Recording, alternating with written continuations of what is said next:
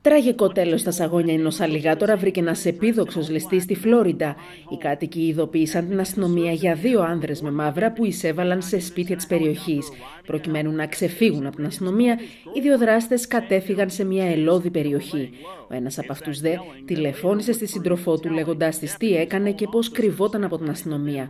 Λίγη ώρα αργότερα όμως η οικογένειά του δήλωσε την εξαφάνισή του. Ώρες μετά, το κατακρεουργημένο σώμα του εντοπίστηκε να επιπλέει στο ποτάμι της περιοχής. Οι αρχές κατέληξαν στο συμπέρασμα πως ο άτυχος νέος είχε δεχθεί επίθεση από αλιγάτορα. Οι εικασίε τους επιβεβαιώθηκαν όταν, κάνοντας ευθανασία σε ένα κροκόδιλο που εντόπισαν στην περιοχή, βρήκαν στο στομάχι του ανθρώπινα υπολείμματα. Έπαθε αυτό που του άξιζε. Κατέληξαν οι κάτοικοι της γειτονιάς.